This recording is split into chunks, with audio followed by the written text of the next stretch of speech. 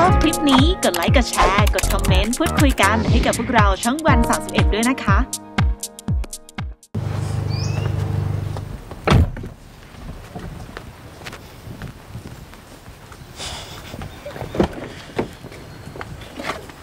ยินดีต้อนรับกลับบ้าน ฉันเคยอยู่ที่นี่เหรอ ทำไมไม่เห็นคุ้นเลย ก็เธอความจำเสื่อมอยู่นี่ เธอจะไปจำอะไรได้ ลงมาสิ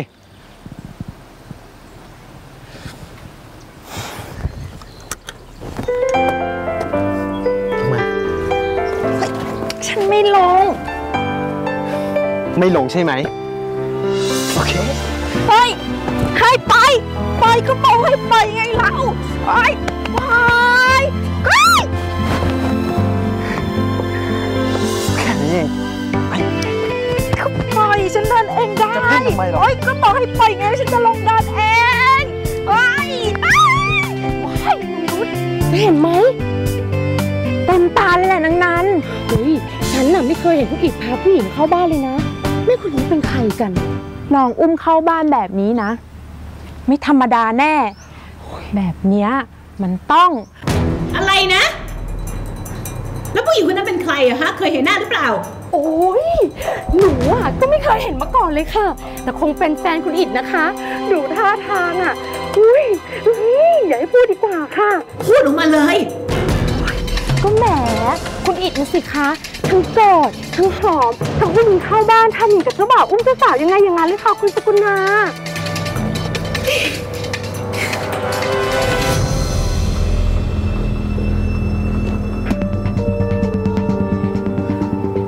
างบ้านมีเรื่องอะไรล่ะครับคุณพี่ ไม่มีเรื่องอะไรใหญ่โตหรอกจ้ะแค่เรื่องเล็กๆ น้อยๆพอลำคาญใจ มา ผมนวดให้ดีกว่า คุณพี่จะได้หายเครียดนะครับงั้นจัดให้สุดฝีมือเลยนะจ๊ะนกแล้วพี่จะตบรางวัลให้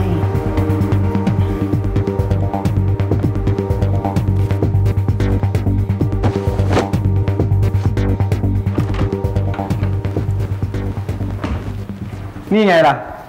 ห้องนอนของเธอ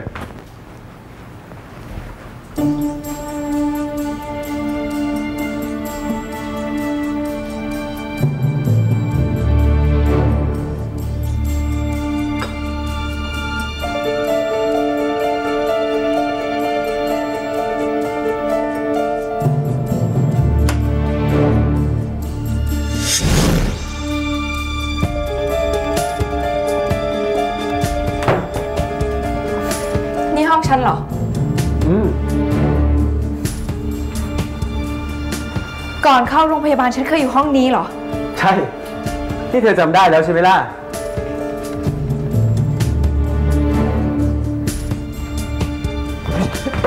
นี่ นึกว่าฉันเป็นยาอ่อนหรือไง ถ้าฉันเคยอยู่ห้องนี้จริงๆทำไมข้าวของเครื่องใช้มันถึงได้ใหม่เอี่ยมแบบนี้ล่ะขออนุญาตไม่เอาพอแล้วเอ้ยขออนุญาตไอ้ไขออนุญาตไม่เอาอุ๊ยเสื้อผ้านี่ก็เหมือนกัน ป้ายราคายังติดอยู่เลย ตัวละหมื่นห้าไม่ใช่เสื้อผ้าฉันแน่นี่ขออนุญาตนี่ก็เธอนั่นแหละ เธอในบ้านช้อปปิ้งขนาดไหน เธอรู้ตัวไหมก่อย่าเสื้อผ้ากระเป๋ารองเท้าอะไรที่มันออกใหม่เนี่ยเธอก็ต้องไปซื้อมา ซื้อมาจนไม่มีที่เก็บ ซื้อมาจนใส่ไม่ทัน พอฉันห้ามเธอทีหนึ่งเนี่ยนะ เธอก็หาว่าฉันงก พอฉันรู้ว่าเธอความจำเสื่อมเนี่ย ฉันภาวนาเลยแหละ ขอให้โรคบ้าช้อปปิ้งของเธอเนี่ยมันหายไปด้วย เพราะไม่อย่างนั้นเนี่ย ฉันหมดตัวแน่ๆ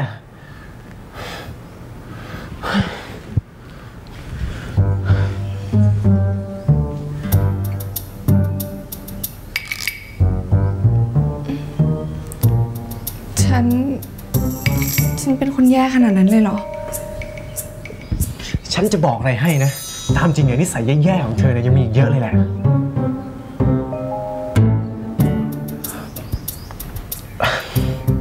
จะไม่เป็นไรนะ ฉันทนได้ฉันว่าตอนนี้เนี่ย เธอไปพักก่อนดีกว่านะ ฉันต้องไปทำงานแล้ว ถ้าเธออยากได้อะไรเนี่ยเธอบอกก่อนแล้วกันนะ เขาเป็นคนรับใช้ของเธอ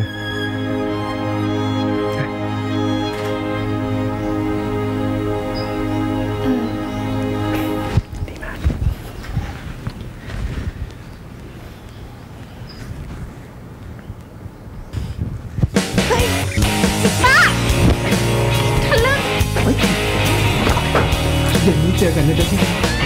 รักไปอีกเหรอ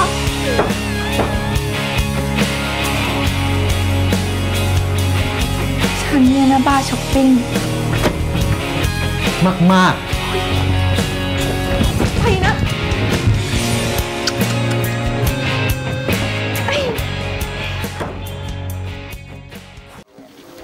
อย่าคิดมากนะ พ่อฉันเขาก็เป็นแบบนี้แหละ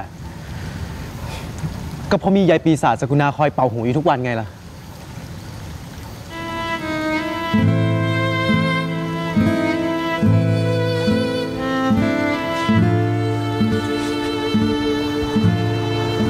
ฉันไม่โกรธหรอกค่ะ เป็นใครก็คงรังเกียจฉันทั้งนั้น คุณอิดคะ บอกความจริงกับฉันได้ไหมคะ อย่าหลอกฉันอีกเลย นไม่เคยอยู่ที่นี่ ข้าวของเครื่องใช้ก็ไม่ใช่ของฉัน พ่อคุณก็ไม่รู้จักฉัน จริงๆแล้วฉันเป็นใคร มีเรื่องไหนที่เป็นเรื่องจริงบ้าง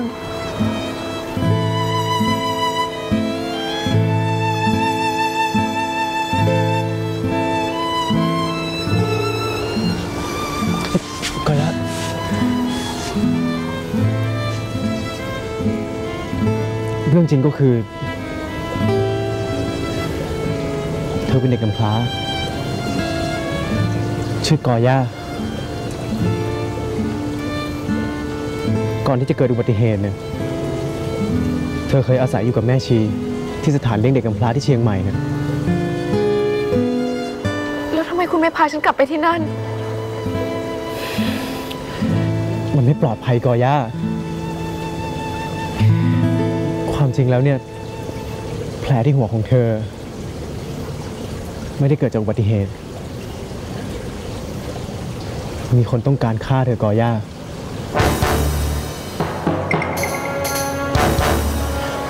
ฆ่าฉัน ใครเหรอคะ ใครกัน ฉันไม่รู้ เธอเป็นคนเดียวที่รู้ แต่เธอก็ดันจำอะไรไม่ได้ซะก่อนน่ะฉันก็เลยไม่กล้าเสี่ยงที่จะให้เธอไปอยู่ที่ไหนกับใครทั้งนั้นไง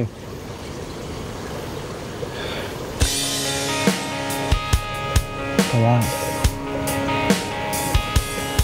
ฉันเป็นห่วงเธอนะ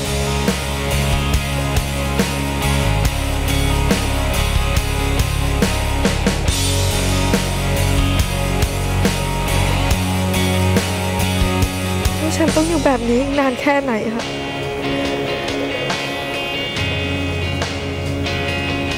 ฉันอยากให้เธออยู่กับฉันแบบนี้ตลอดไปอะเธอเหมือนแสงรำไรปลอบโยนใจที่ทุกข์และทน จากนี้ฉันขอเป็นคนที่จะอยู่เพื่อเธอ เมื่อความรักไม่มีแบบแผนแค่รักเธอไป จะเรื่องร้ายแค่ไหน อย่างไรก็จะรัก จะดูแลเธอจนกว่า วันที่ฟ้าของเธอสดใสภาพที่เมฆฝนยังไม่พ้น